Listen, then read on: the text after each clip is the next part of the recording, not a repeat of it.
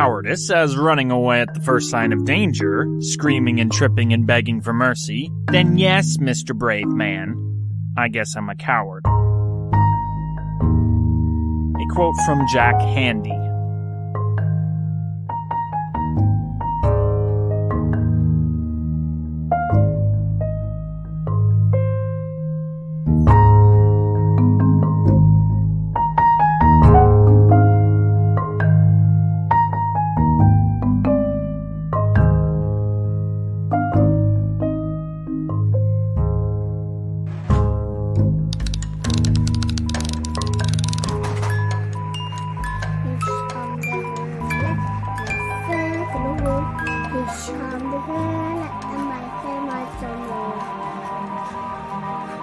Solve the World.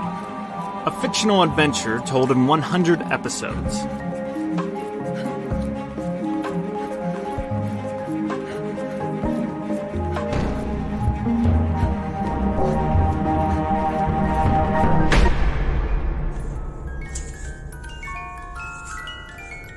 Episode 84 Don't Scream.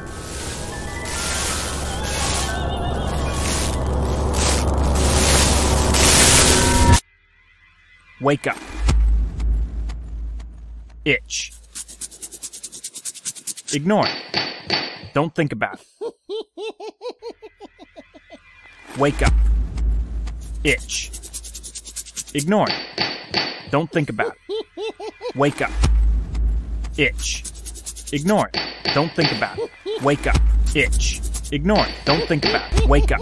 Itch. Ignore it. Don't think about it. Wake up. Itch. Ignore it. Don't think about it. Wake up. Itch. Ignore it. Don't think about it. Wake up. Itch. Ignore it. Don't think about it. Wake up. Itch. Ignore it. Don't think about it. Wake up. Itch. Ignore it. Don't think about it. Wake up. Itch. Ignore it. Don't think about it. Wake up. Itch. Ignore it. Don't think about it. Wake up. Itch. Ignore it. Don't think about it. Wake up. Itch. Ignore it. Don't think about it. Itch. Ignore it. Don't think about it. Wake up. Itch. Ignore it. Don't think about it. Wake up. Wake up.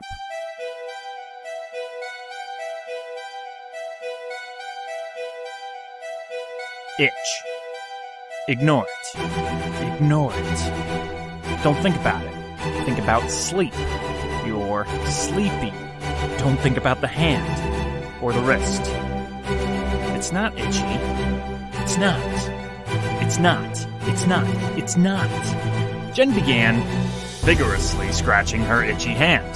The alarm clock glared green at her in the otherwise dark bedroom. 2:47 a.m. Late early. Too early. Groggily and itchily, the one called Jenna staggered across to the bathroom. Gandalf, her faithful companion, liked to sleep in the master bedroom, and apparently paid no attention to Jenna as she flicked the bathroom light on and stared at herself. It'd been a while, nearly two weeks, since first receiving her new medication from Lenore. It had worked well, the basic sleep aid, up until now. Up until this moment.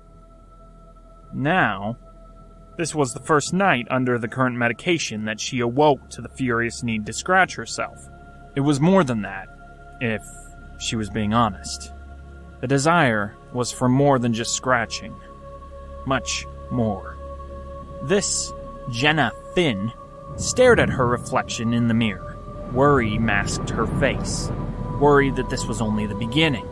She could get through tonight, sure enough. Tonight wasn't going to be the problem. Now wasn't the problem. Jenna thought this even as her fingernails tore into her wrist in vertical slashes. Repeatedly. Look in that mirror. Who's looking back at you? Jenna Finn? Naime? Some orphan who happened to survive Anmo? Who is this? Is this Jennifer Dash? Is it? Really? And this hand? Is this the hand of Jen Free calling?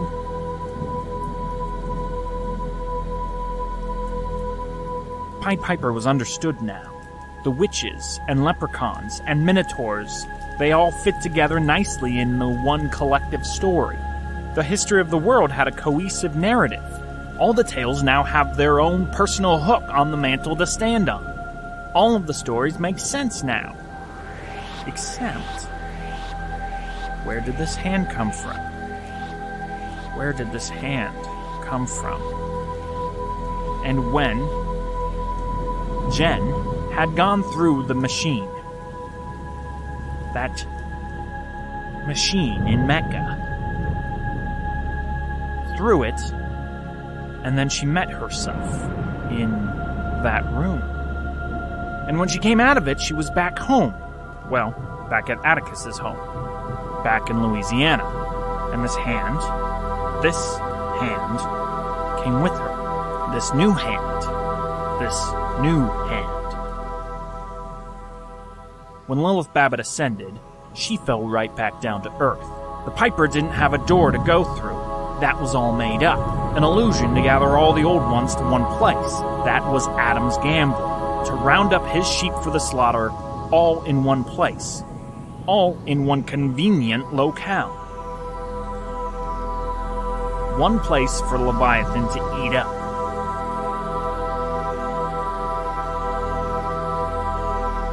Good, fine. That was over now.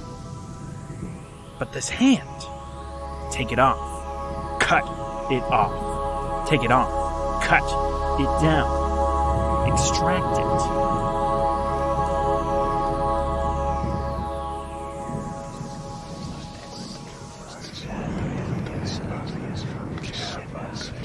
Take it off. Cut it down. Extract it.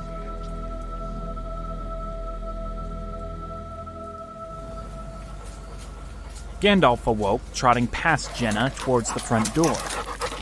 Has Nate's come? Gandalf certainly thinks so. Good. Nate's would be a welcome distraction tonight. Two insomniacs make for good friends. Nate's? Hey! I'm awake! You can come in! Jen called out. She paused, waiting to hear an answer. Nothing. Jen moseyed out of the bathroom into the hallway and turned towards the front door. Gandalf wagged his tail vigorously and stuck his long nose out at the doorknob, eagerly anticipating its opening, and with it his ritual pre dawn stroll with Nate's downtown. Should Jenna call out Nate's name again? No. Something was off.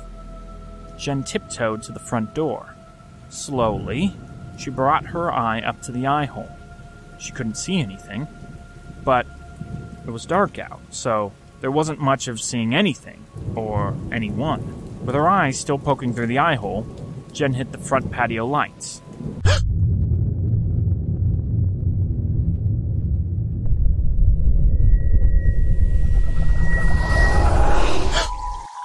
She was on the second story. Her landlords lived on the bottom.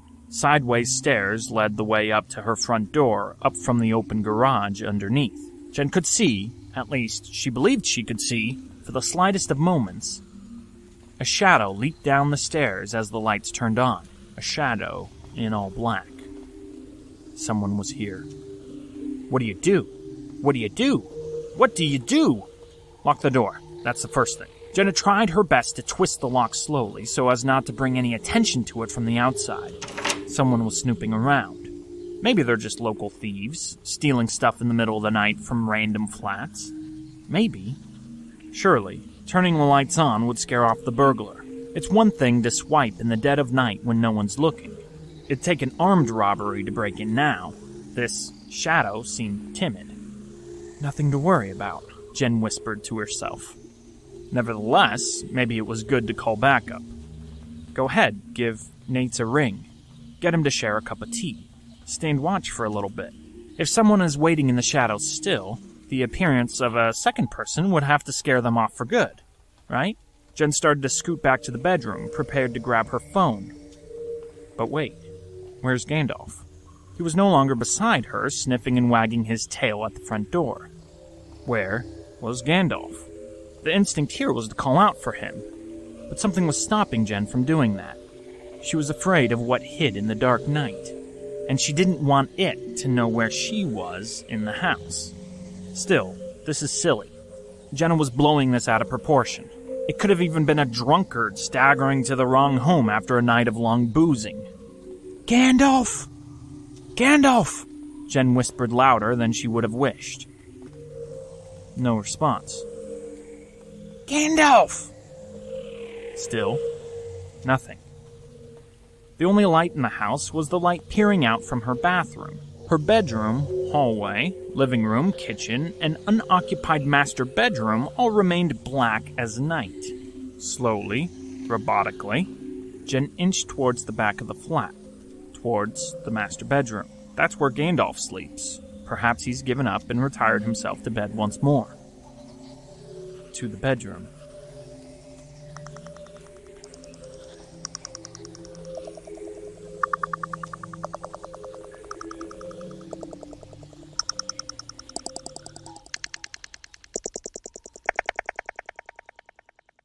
Jen leaned around the corner of the doorpost to sneak a glance in. Shaggy, big white Gandalf was, indeed, in the room. But he wasn't sleeping. He was breathing heavily, wagging his tail viciously, and poking up his head towards the window. The window, just above the head of the bed, faced towards the front of the house. Directly outside that window was the base of the stairs leading up to the front door. Gandalf either heard or saw something in the window. This wasn't Nate's. The intruder, the invader, was still here.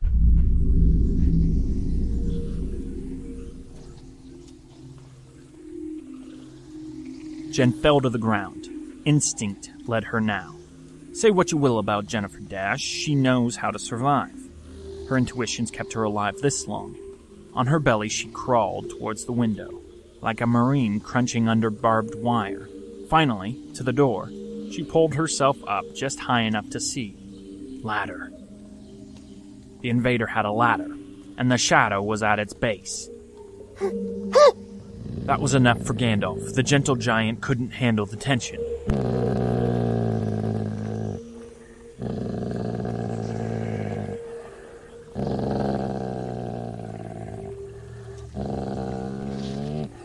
He erupted into barks. Run, Jen. Run. The invader climbed the ladder quickly. You could hear his clanking. The game was on. No more pretending. Jen sprinted out of the bedroom. She saw the shadow's frame as she bolted out of sight.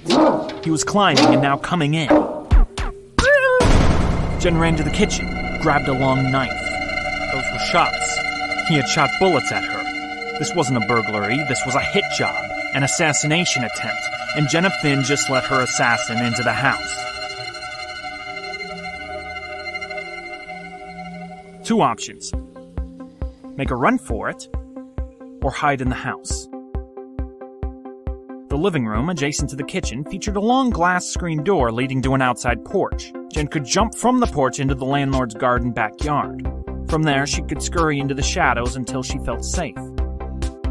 Or she could hide somewhere inside the house until she got the upper hand.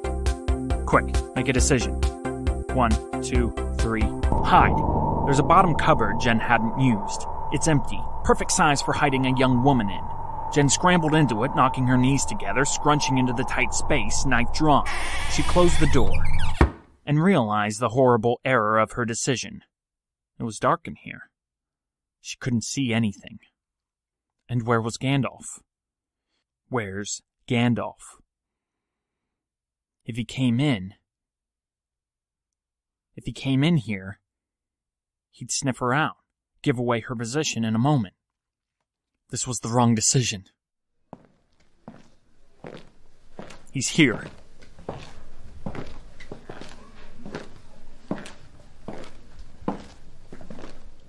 In the hallway in front of the kitchen, Jen tried to hold her breath. For a while, she couldn't hear any footsteps at all. Then, the front door being unlocked from the inside. Door open. Door close. Was it a trap? Was the shadow standing right in front of her cubby, just waiting for her to think it was safe? Where's Gandalf?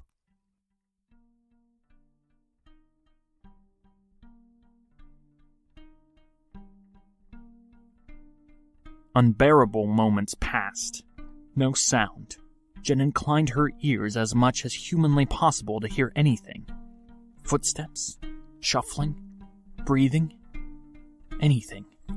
She heard nothing. The flat silent. Dead quiet. All through the house, not a creature was stirring. Not even a mouse.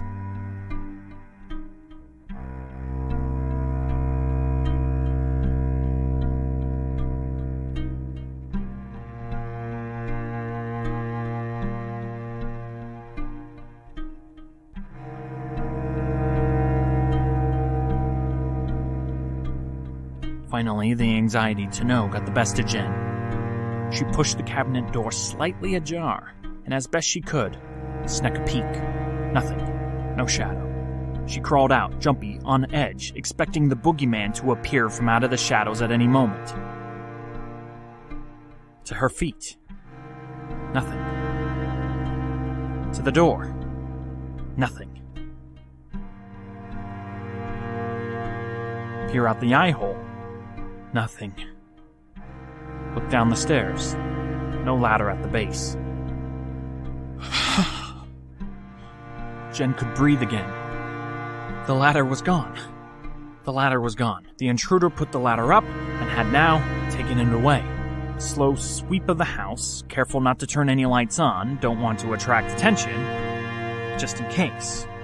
But the ladder's gone. Maybe it was just a burglar after all. Nothing in the living room. The bathroom. Jen's bedroom is free of devils. All that's left is the master bedroom. Jen's stomach dropped before she even got there. She realized it a moment before she saw it, was able to put it together. When she did, when she stepped into that master bedroom, she saw and had to look away. Indeed, the intruder had come up into the room through the window which he'd lifted up. But on the floor, motionless, lying atop a lake of black, was Gandalf. The bastard had shot him. Shot poor Gandalf. He lay dead on the ground. A bullet through his heart.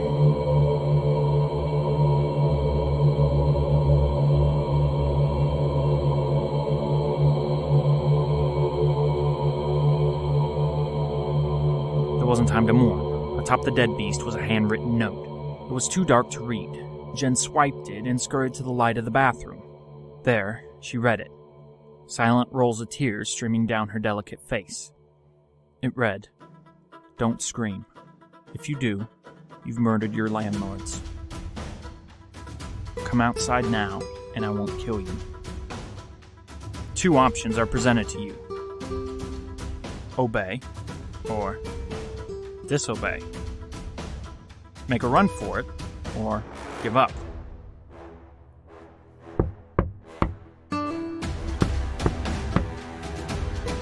Jen ran to the front door, the eye hole. A man dressed in black with black pantyhose over his face. This was the intruder, showing his cards, waiting patiently. There was some peace in seeing him. Sure, an unknown, shady, dog killing assassin is frightening in its own right. But he's only a man. He's not Piper. He's not some god or goddess with unlimited powers. He could be outmaneuvered, outran. This ends easy if you come with me. I won't hurt you, but if you do something stupid, Stupid is Jenna's middle name. She bolted for the back screen door, swooped the glass door open, ran to the second story porch, leaped over the railing, and landed hard on her feet and knees. Something hurt. She'd rolled her ankle, no doubt. But this was not the time. Suppressing the pain, Jenna Finn lunged through the garden, losing herself in its thick blossoms. She picked through a wood fence and found herself in another yard. Some cuts and go arounds, and Jenna was lost deep in the neighborhood. She found a tree overlooking a main street and climbed it. Jenna had outran the assassin. Who was he? What did he want? Why'd he choose her? And, perhaps more importantly, who sent him?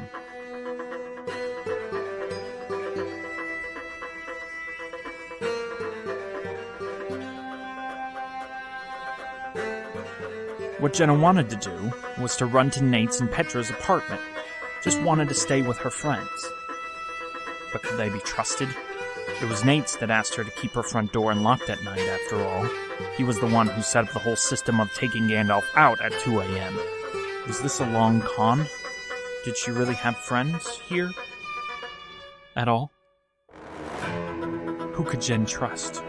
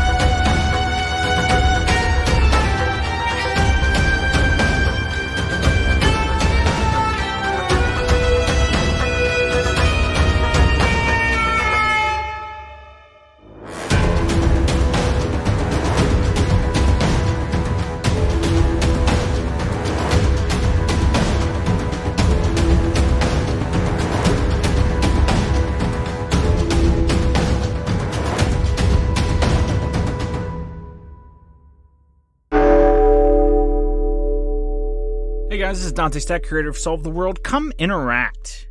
Talk back about this episode. Talk back about any episode part four, part three, part two, part one. Just interact.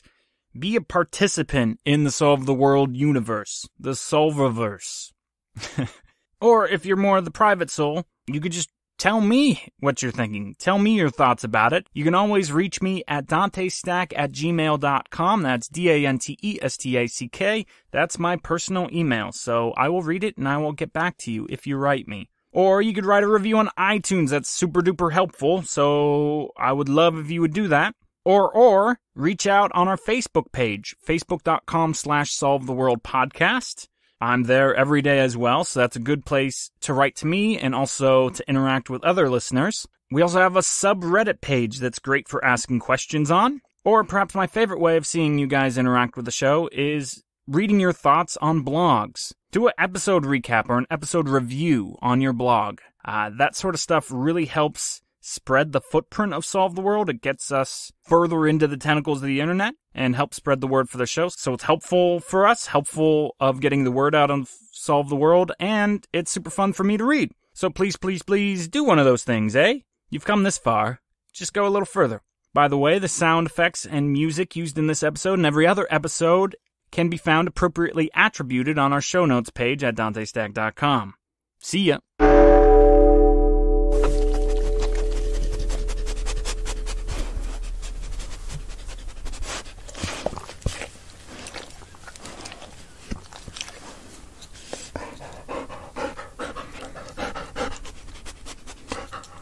In the year of our Lord, 1808, a Newfoundland dog died. He was five years old when he took his last breath, and he died of rabies. We know all this because his owner happened to be the poet we know as Lord Byron. Grieved and unsure of how to pay tribute to his fallen friend, he created a monument to the dog, a final resting place in a graveyard. Lord Byron, being a poet, had the following poem inscribed on the dog's tomb. The following are Lord Byron's words.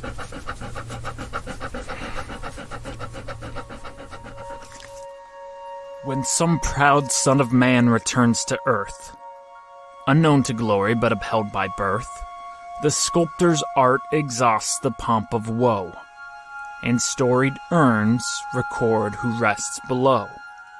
When all is done, upon the tomb is seen not what he was, but what he should have been. But the poor dog, in life the firmest friend, the first to welcome, foremost to defend, whose honest heart is still his master's own, who labors, fights, lives, breathes for him alone, unhonored falls, unnoticed all his worth, denied in heaven the soul he held on earth, while man, vain insect, hopes to be forgiven and claims himself a sole exclusive heaven. O man, thou feeble tenant of an hour, debased by slavery or corrupt by power, who knows thee well must quit thee with disgust, degraded mass of animated dust. Thy love is lust, thy friendship all a cheat, thy tongue hypocrisy, thy heart deceit. By nature vile, ennobled but by name, each kindred brute might bid thee blush for shame. Ye, who behold, perchance, this simple urn,